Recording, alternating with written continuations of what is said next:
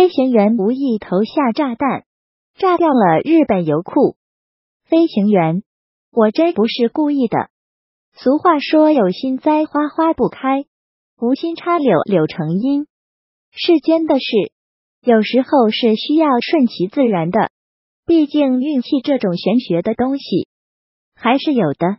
世界第二次大战期间，一九四一年十二月七日，日本毫无预兆的发动了对美国的军事进攻，突袭了重要军事港口珍珠港。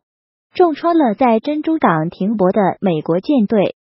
与此同时，日军对马来半岛和菲律宾也发起了进攻。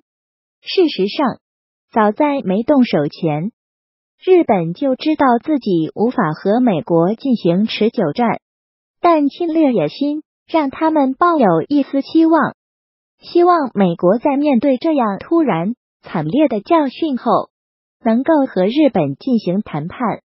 让美国接受他们侵略中国的行为，但这种如意算盘显然是打错了。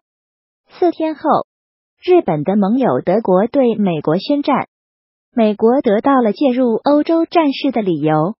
原先美国国内反对罗斯福政府为英苏提供大量援助和军事护航的喊声消失了，美国人决心团结一致，打赢这场战争。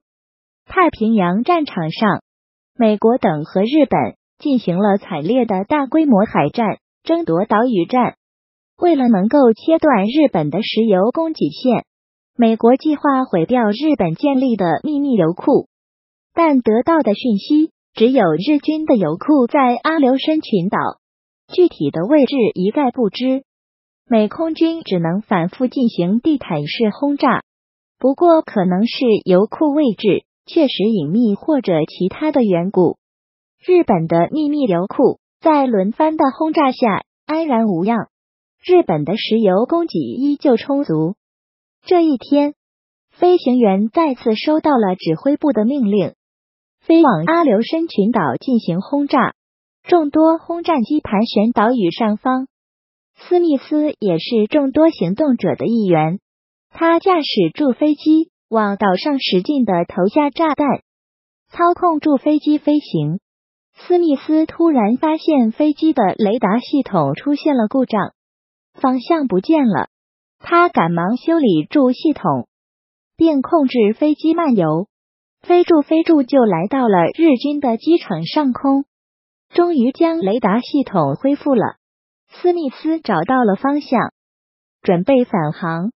但又发现飞机上还余了一枚炸弹。按照那时驾驶轰炸机的规定，轰炸机不能带弹着陆，防止着陆发生意外。所以斯密斯必须将这枚炸弹也用了，不然回去是要受长官惩罚。于是斯密斯无意的投下了这枚剩下的炸弹，只待炸弹驻地就没事了。可这一次的爆炸声却大得惊人，地面还升起了很大的一个蘑菇云，到处都是火海。原来日本的这个秘密油库就建在机场的假飞机下面，本来有目的的轰炸是不会对这里打击的。但斯密斯无意的投下的炸弹，正好奇迹的落到了油库上，炸毁了日本的秘密油库。斯密斯这回是立了大功。事后记者采访他的时候，问他如何发现油库并且摧毁他的，斯密斯只是笑笑，对记者说：“我真不是故意的。